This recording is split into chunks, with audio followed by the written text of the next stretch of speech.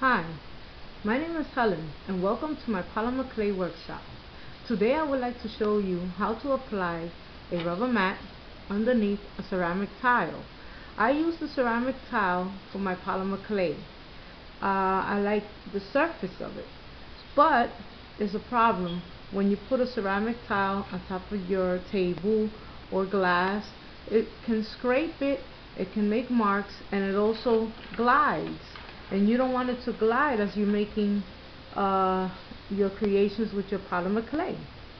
So I said let me apply this rubber mat. It comes in a roll and um, you cut the dimensions out and just uh, glue it to your tile. Now you wonder what kind of glue can you use to apply the rubber mat to a ceramic or a porcelain tile. So I use this glue called Aleene's Jewelry and Metals Glue. It's very good. It works with jewelry, metal, ceramic, you name it. It's really good. I mean, it worked for me as I did it for here.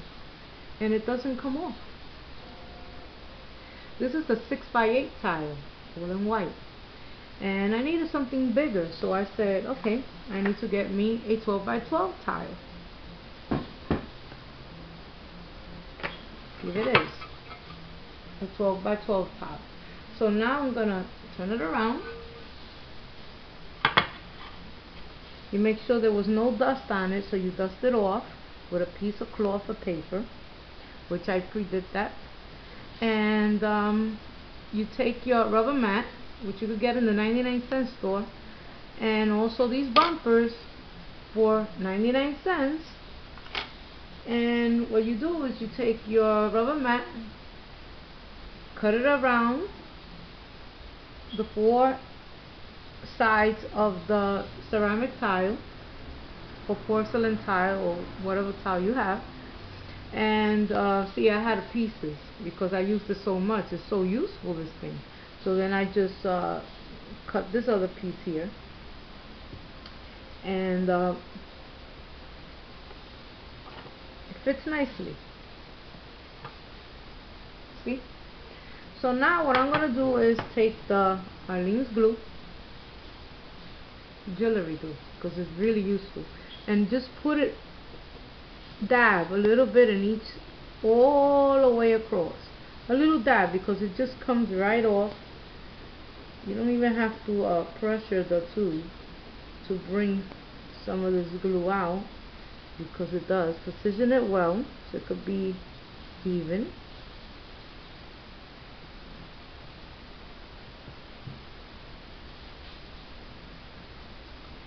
All four corners, four sides. You put the glue well. This is better than a crazy glue, I guess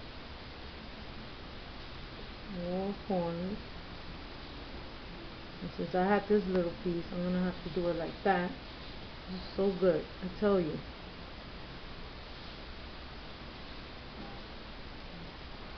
Make sure you stretch it out so that way it will fit correctly and there's no dangles. Just turn it this way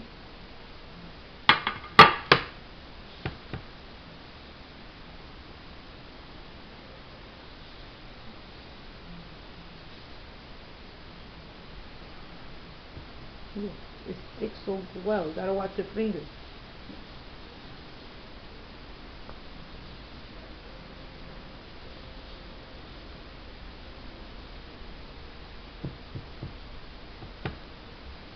And quickly,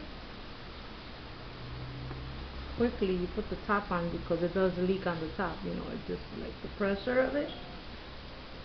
Make sure it's there and just I put it back in the package. And uh, you wait. You. Take your bumpers. Comes like this. These little bumpers. They had a little bigger and I just didn't get them I should have but these will do good. And you just apply it in the four corners because it's self-adhesive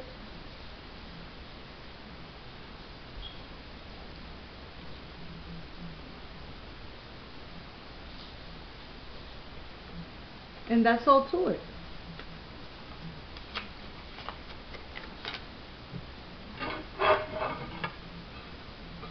There goes the rubber mat underneath the tile. Now, see, it won't move. It's done. Thank you for watching.